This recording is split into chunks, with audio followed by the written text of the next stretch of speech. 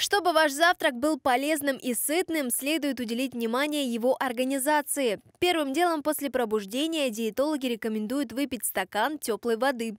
Это разбудит организм и даст старт правильной работе кишечника. Примерно через полчаса после этого можно начинать завтракать. Из чего же должен состоять правильный первый прием пищи, чтобы получить заряд бодрости на весь день?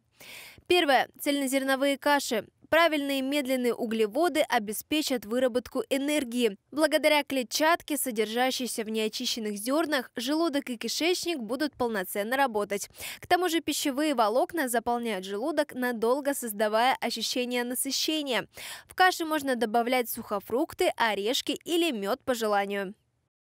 Второе. Мюсли тоже является источником сложных углеводов. Только помните, что мюсли должны быть без сахара и синтетических добавок.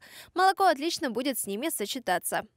Третье. Яйца. Могут готовиться в таком виде, каком вы их предпочитаете. В яичницу или омлет можно добавить овощи или отварное мясо. С яйцами в организм поступает белок. Кисломолочная продукция. Здесь выбор довольно богатый. Йогурт, творог и изделия из него или разнообразные сыры.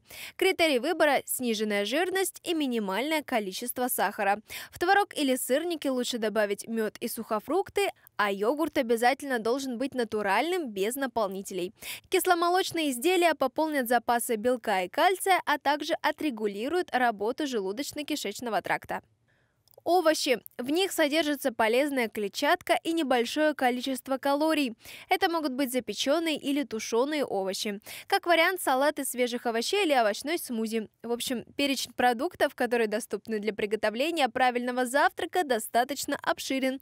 Но помните, что придерживаясь правил составления полезного завтрака, вы заботитесь о своем организме.